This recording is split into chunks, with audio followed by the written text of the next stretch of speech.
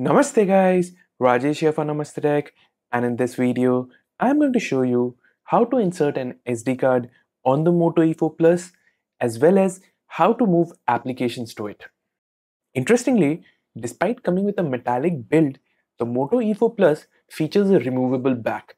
This is not immediately obvious so don't be surprised when you don't find any SIM card slot or a micro SD card slot on the handset when you try to insert one.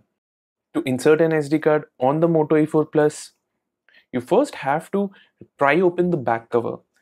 To make this easier, Motorola has designed a small notch on the bottom left corner of the device. Simply insert your fingernail in that notch and pull open the back cover. Make sure to open it from all ends before completely pulling it off. Once done, you can find the SIM card slots as well as the microSD card slot. The SIM2 slot is located on the left side while the microSD and the SIM1 slot are combined into one and located on the right side. The SIM slot is located beneath the SD card slot. So if you're inserting a SIM card, insert it first followed by the microSD card. Inserting the SD card is a pretty easy process and all you need to do is slide it into the slot. Once done, simply install the back cover again and wake up your Moto E4 Plus from sleep. If the SD card is already in a compatible format, you will receive a message saying an SD card has been inserted on the device.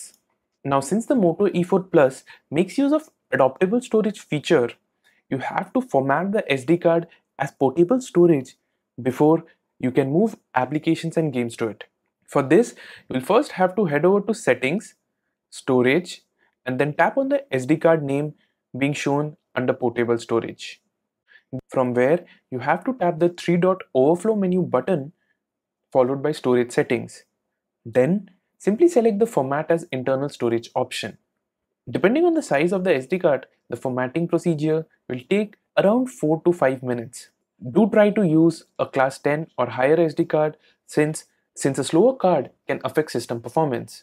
Also, make sure to back up all important data from the SD card before you start the formatting procedure as all data from it will be completely wiped during the setup process.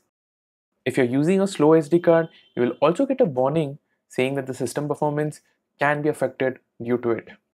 Once formatted, you'll automatically get an option prompting you to move your already existing data from internal storage to the SD card and the migration assistant will also show the amount of space that will be freed up on the internal storage of your Moto E4 Plus.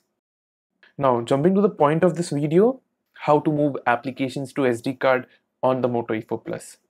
After setting up the SD card as internal storage, head over to settings, apps, once the list of installed applications is populated, then tap on the name of the application that you'd like to move to external storage.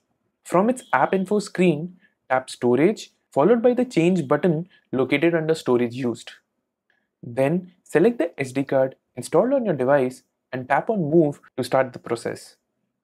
Again, depending on the size of the application, the whole process can take up to 5 minutes do remember that you cannot move all applications to SD card using this process since developers have to explicitly make their app compatible with Marshmallow's adaptable storage feature. Also note that you will not be able to easily move files to and fro from your PC once you have formatted the SD card as internal storage. Similarly, the SD card will also not be recognized by other devices unless it's formatted first. So that's it for this video guys. I hope you found the steps in this video useful. Make sure to drop a comment below. Do appreciate our efforts by subscribing to our channel, liking this video and sharing it with your friends. Thanks for watching.